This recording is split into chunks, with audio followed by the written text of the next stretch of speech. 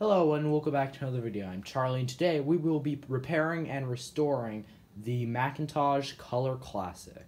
So I recently purchased this on eBay and it finally came and if you didn't watch my last video I unboxed it and took it out and tried seeing if it worked and tried testing with another motherboard and it does work. So thankfully it's none of the analog components that are the issue. However, this thing needs a lot of work, especially on the inside because it's extremely dusty. So, anyway, so what we're going to be trying to do is we're going to be trying to clean up and hopefully repairing this original Macintosh Color Classic board. We're also going to be um, dusting out the insides and we're going to be doing the whole exterior and possibly retrobrighting the keyboard and the case and stuff, but we'll have to see. Um, we'll have to see how the video plays out. So, um, yeah, if you look at it, look around, it's extremely dirty. There's uh, tape marks, there's labels, there's uh, more tape, and it's a lot yellow. There's even pencil marks in certain places, and it's not pretty at the moment, but I'm hoping that we'll be able to restore this back to its former glory and make it look almost like new again. So, without further ado, let's get started. So, the first thing we're going to work on is the keyboard and the mouse. So, I'm fully aware that this is not the original keyboard this Color Classic came with when it was new. This is, in fact, a Apple IIgs keyboard, which came with the um, Apple IIgs and IIgs Woz edition computers. Um, the only reason why I have it is because this computer came with this keyboard. I'm not sure why or how it got to this, but we're just going to be cleaning it up today because it's kind of dirty. It's also pretty yellow, and I want it to look nice. So that's exactly what we're going to do. So um, if you look closely, um, there's some dirt on it in certain places. The whole keys, um, all the key, most of the key, all the keys seem fine. It's just the spacebar and these outer class case pieces need to be taken off and retrobrighted and we're also going to be taking out all the keycaps so we can see if we so we can like vacuum on the inside. So that's what we're going to be doing. So the way I take out keys now I know there's a special tool to take out the keys but what I like to do is use a screwdriver because I'm too cheap to buy one of those tools. So what you want to do you want to put it under and just pop right out. There's no springs no nothing extra. And just be careful not to uh, break the uh, little plungers because uh, they're kind of hard to replace. So, uh, and yeah, once you get the hang of it, you can, all, it's a lot easier. So, uh, yeah, let's get started.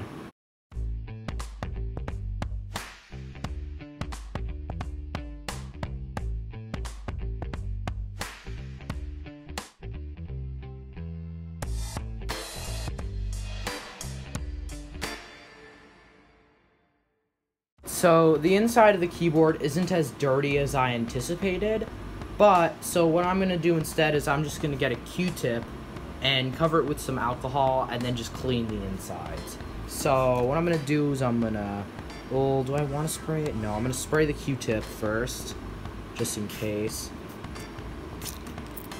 That didn't work, but basically what I'm gonna do is I'm just gonna do this and just clean all the crevices of the keyboard. And I'm not taking off like the enter key or anything because they don't need a they don't need to be retrobrighted and I don't want to damage them by taking them off because I might because I probably will so. I'm just gonna leave them in and they're and it's probably not that dirty underneath them anyway so I'm not gonna worry too much. I'm just gonna clean all these up now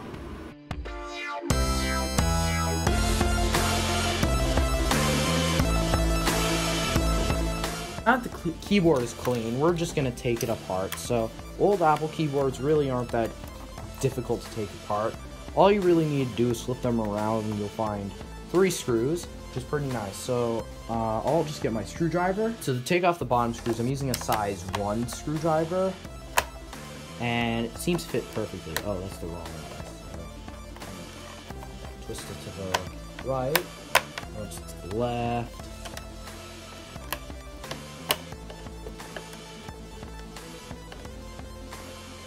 And now it should be able to easily open up the keyboard. So this top part came off with the Apple logo and everything. So we're just gonna put that to the side. the rest of it should come off. I'm just gonna flip it over and the uh, rest of the keyboard screws came out.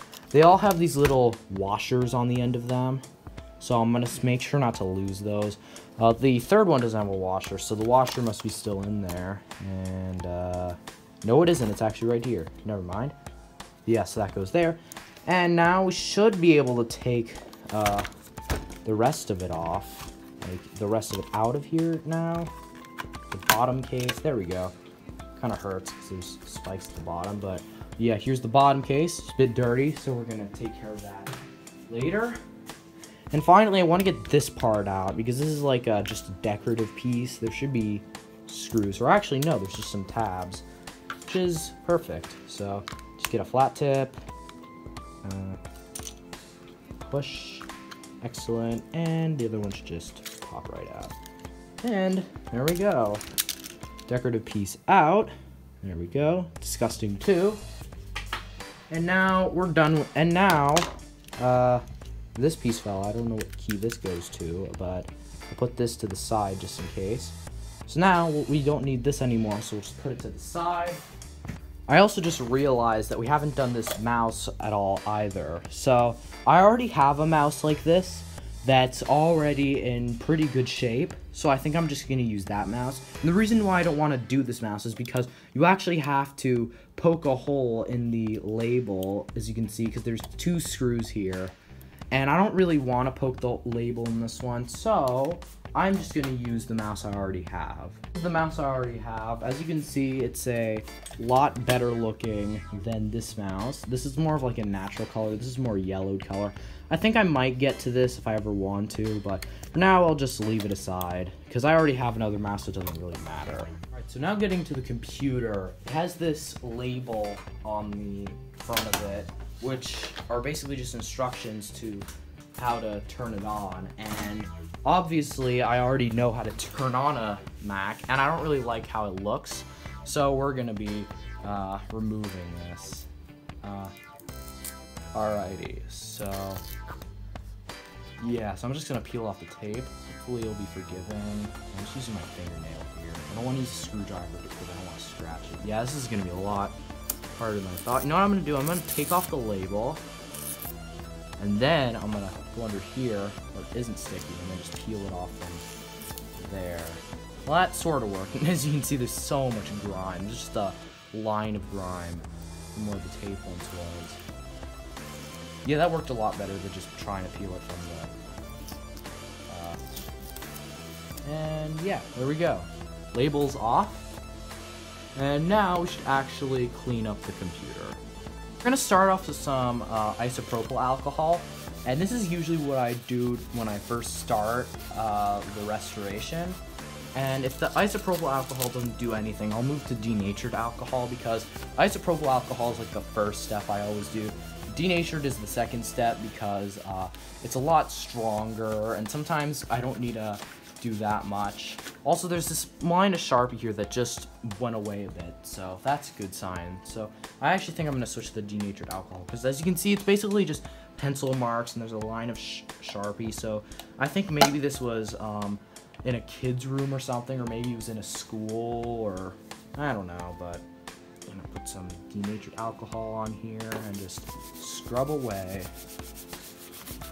And if you're wondering, you can buy denatured and isopropyl alcohol at any... The denatured alcohol I got at the hardware store, and the isopropyl alcohol I got at a uh, drugstore or medicine store, because isopropyl alcohol in the medicine industry is actually also used for uh, like cuts and stuff, so like disinfecting cuts and things, so that's why you'd find it there. And they're like and the isopropyl alcohol is incredibly cheap, as well as the hydrogen peroxide, which is used for retrobrighting. They're both like uh, 99 cents for a, a container. So uh, yeah, anyway, I'm to continue doing this, and I'll be back when I'm done.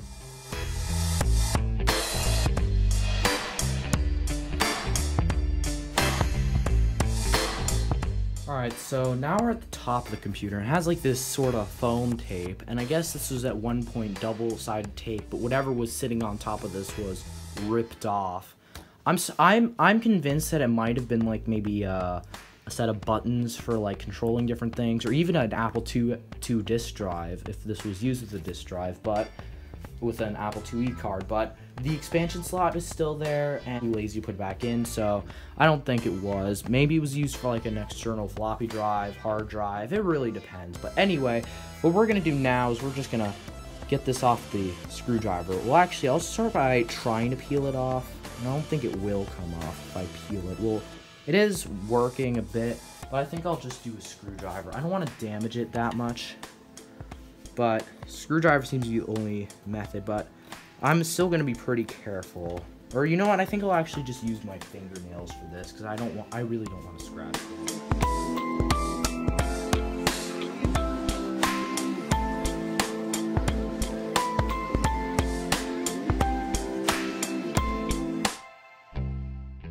Alright, so the rest of it doesn't really seem to be coming off. So what I'm going to try is a method I haven't really tried too much in the past. I'm going to be trying to apply some WD-40. So basically what you do here is you spray a bit on, like on like this, and you let it, and you just rub it around, let it sit, and then you try hitting it again with a paper towel. So I'm going to be trying that, so I'll be back.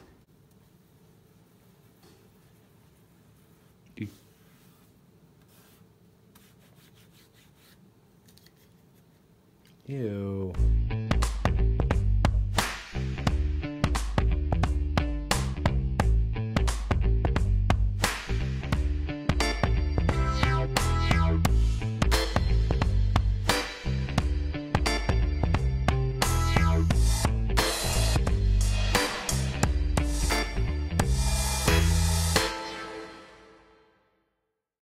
While the WD-40 is curing, and taking away the sticky stuff, what I'm going to try to do is bring this board back to life. So I have no idea what the issue can be with this board, um, but my but my first instinct is to clean up everything. So what I'm going to be doing is I'm going to clean up all the contacts, take out all the chips and clean them, and and uh, because I know that it's not the analog components that are stopping the board the computer from powering on because I already tried it with the Mac TV board and it worked.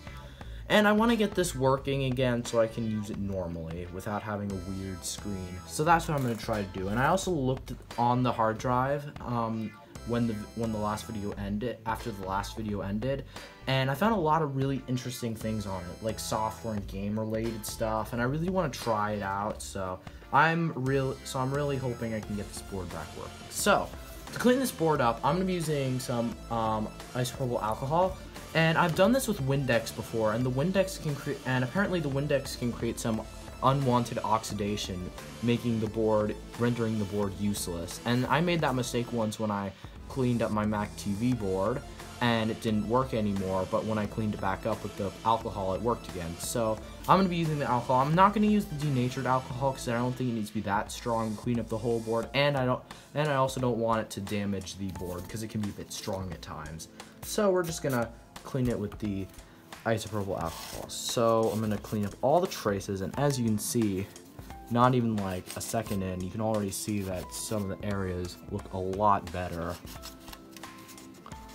and yeah, already it's getting pretty dirty. So I'm gonna clean up this whole board and clean all the pins and contacts of everything and I'll be back.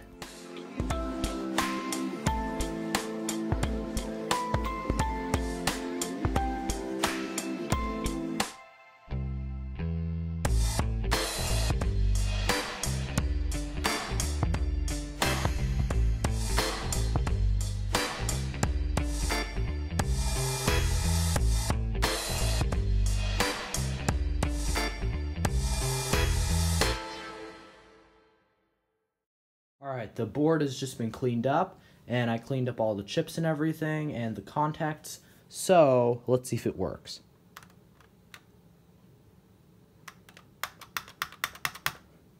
Hmm, still doesn't work. I think I'm to see if I can clean it a bit more, and then we'll try again. Alright, second attempt. I've deep cleaned the board once again, and I also um, cleaned up the uh, socketed chips and the uh, pins that connect the board to the computer itself. So, uh, let's try powering it on now.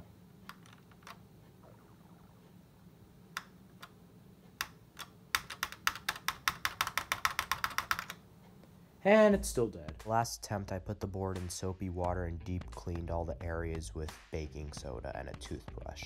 After putting almost two hours into the board, I put I soaked it in dishwasher fluid, which is good because it has anti-corrosive properties, has a bunch of other things that should help bring the board back to life. I also let it out to dry. I also um, cleaned the whole thing with rubbing alcohol before and after to finish up everything. I cleaned the sockets, I cleaned everything, even around the capacitors, and everything's perfectly fine. There's no there's no um, electrolyte anywhere on the board, and I'm 100% confident that this should work. Alright, so let's see if it actually works. So, turning it on. Okay. Just take some of that dust away. A moment of truth.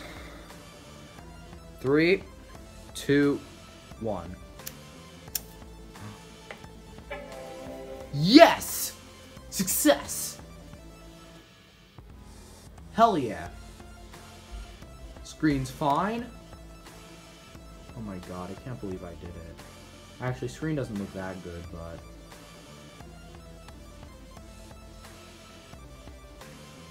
See the cursor?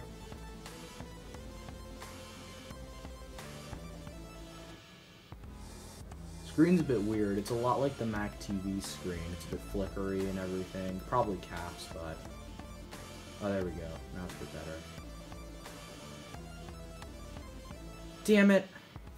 Now the hard drive doesn't work. That kind of sucks, because there's a lot of stuff on that hard drive that I really want to take a look at, because it was working, so... So what I did now is I took the computer outside, and as you can see, there was a whole lot of dust on the inside. So I decided to buy some compressed air from Staples, and I started to blow the dust out. And as you can see, there's a lot of dust coming off. You couldn't really see it on camera, but it's definitely there in person. There's a lot of it. I was hoping that this would resolve the screen issues, and screen issues did stop. Um, did, did stop after this, but I'm not sure if this was the resolution of the problem. But it definitely um, makes me feel a lot better. The inside is a lot cleaner now.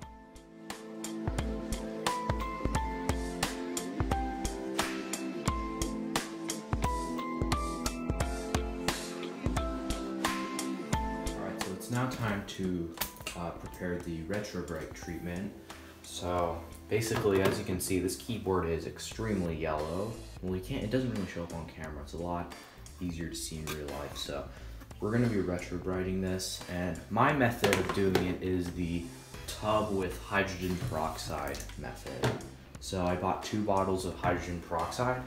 So the trick is, is that you don't want to fill it completely with hydrogen peroxide. You want to do like maybe a third of wa- like a third of hydrogen peroxide, the rest water, and that's usually what I do. So anyway, so the parts we only have three parts. We need a retrobrite. We have the the case of the keyboard. We have this top bezel part of the keyboard.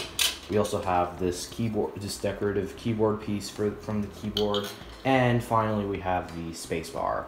So the spacebar I might actually put in a separate plastic bag because, or just the smaller pieces in general, but then the bigger pieces we need to put in a tub because they're larger.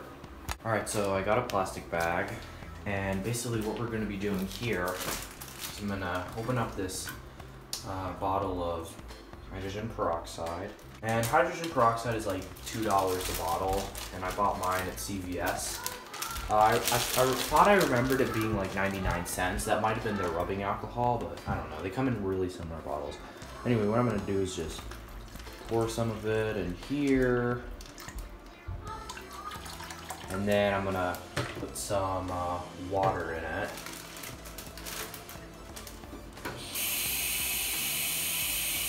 And yeah, that should be good enough. So now what I'm gonna do is I'm gonna put the two pieces in the bag. And then we're gonna put it out in the sun for like a couple hours. Uh, I'd, I'd say like six hours in direct sunlight is best. And we'll let it cure. So now that's done, we'll put that to the side. You have to get the pieces as well, like facing up to the sun, but that should be fine, good enough. But anyway, so now for the actual thing. I cleaned up the pieces. I recommend cleaning the pieces because um, for obvious reasons. I mean, if you care enough to retrobrite it, you should probably care enough to also clean it. So basically what we're just gonna do is pour some of this hydrogen peroxide in here. I think I'm just gonna do the rest of the bottle. I really didn't do that much, but hopefully that'll be good enough. Uh, I'm gonna put some water in too. Alright, so tip is that you really don't need that much. You just need enough to cover both of the pieces completely. And as I can tell, and I can tell I just need a bit more. So I think I'm just gonna fill the rest of it with uh, more hydrogen peroxide. So just pour it in.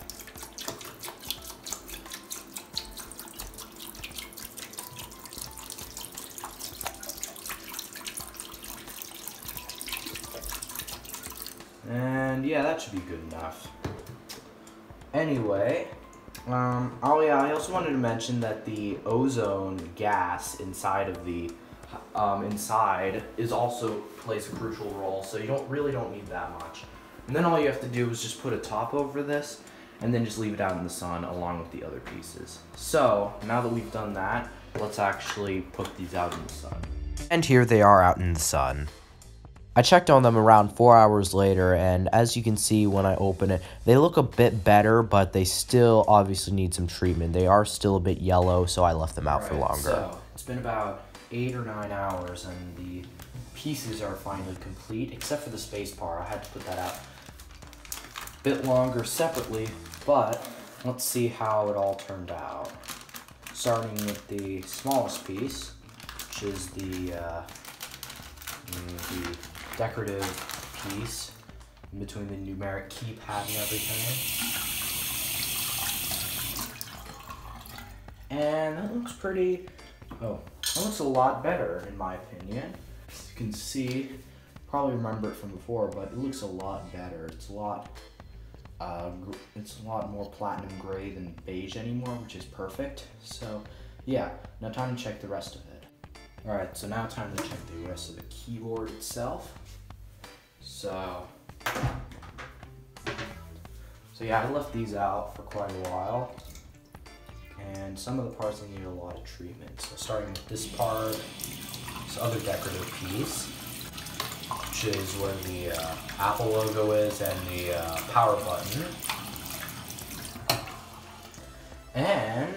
This looks a lot better too. It's also like a platinum gray and stuff. This is still a bit beige, which is okay for me because uh, I don't want it to be too new looking because I don't plan on doing the computer itself and I just want it to look better than it did. So that's good enough. Now for the keyboard cover case itself. This is the main thing. And it seems to look pretty good. So, uh, washed off.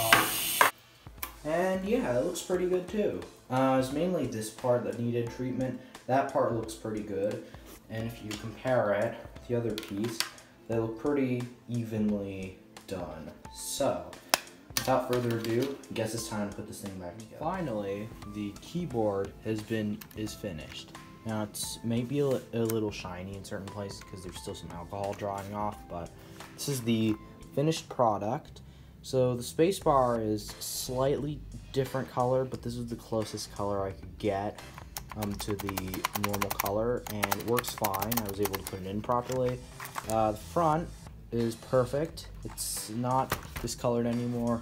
Neither is the top. And the whole thing just looks perfect. And now it's actually comfortable to type on. And now the Color Classic is finally finished and working. So I did some of the boring stuff off camera. For example, uh, the floppy drive repair. I just needed to clean the heads and everything works now on that. Uh, the hard drive, I never actually got the hard drive working. I'm hoping to save that for a future video, but uh, for now I just don't have the proper tools and I'm not going to do it in this video. So yeah, uh, the keyboard has been completely finished with the RetroBrite. The mouse, I'm, I'm, I, th I think I'm going to light bright that by just putting it in the sun. I don't really care, and it's probably not going to get brittle anyway, so... But anyway, as you can see, everything seems to be working. The screen looks really good now. It's not weird anymore, so that's a good sign. Uh, the logic board works, and everything seems to be working.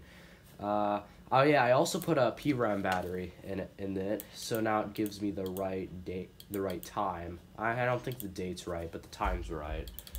And I also put some games on this as well. Uh, I was file sharing with a few of my other computers and stuff, and it was pretty, cool, and it was pretty interesting because I haven't really been doing that too often, so I decided why not. So let's try Oregon Trail as an example. So you can just open this up. This is one thing I've kind of wanted to do ever since I got this thing. Let's play Oregon Trail, because it's a really colorful game.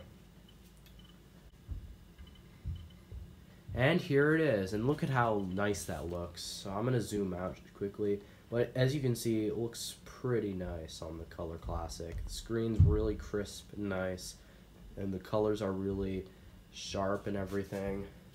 And the game works really well. But I'm not going to play it. I'll save that for another video if you guys really want. So, yeah. But anyway, that's all I really have to say about the Color Classic for now. So, now that the restoration is complete, I guess it is time to end the video. So I hope you all enjoyed this restoration video. Uh, I had fun restoring this. There were some parts that were a bit annoying to do, to do like cleaning the board and stuff, but the rest of it was pretty fun. And I recommend um, I recommend buying Broken Macs because Broken Macs can sometimes have really easy to fix issues like this one. Uh, I will have to, I'll probably have to do some later repairs in the future if they ever come up, but for now it seems to be working perfectly fine. So yeah, that'll do it for this video. Hope you all enjoyed. Please leave a like, subscribe, and comment down below what you want me to do next. And if you want to see more videos like this, uh, do definitely support me uh, with my YouTube and stuff. I have a goal that if I get to like reach like a certain amount of subscribers and views and I can get monetized, I might start making more videos more often, get better equipment. I have a bunch of goals for this channel, but it might never happen, but eh, I guess that's how life works though. So that'll do it. Thanks for watching, and I'll see you all in the next video. Goodbye.